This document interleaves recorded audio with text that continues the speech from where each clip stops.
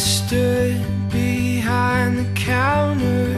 I walked up, keeping my head down. Something, something had moved me now.